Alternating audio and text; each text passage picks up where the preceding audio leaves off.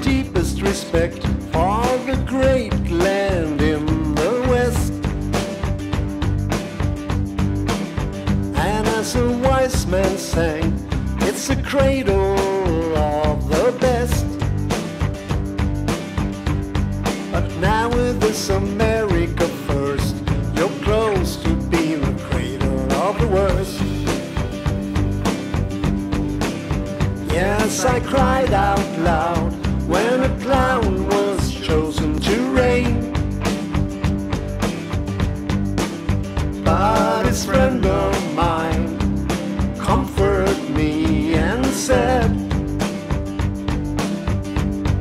that this could be a wake-up call in favor of the climate change. And I recall when the crowd cried, yes, we can. And hope was brought to every man. But today I see a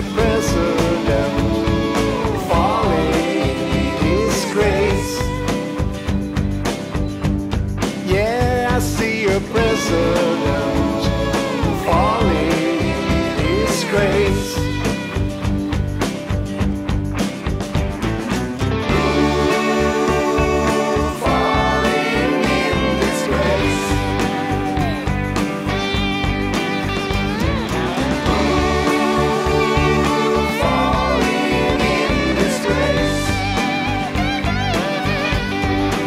So I plead to every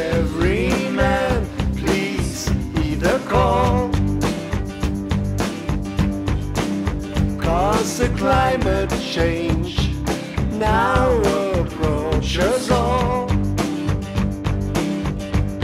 A self-inflicted enemy, an enemy to us all. And that can cause unity and be a starting point for us all.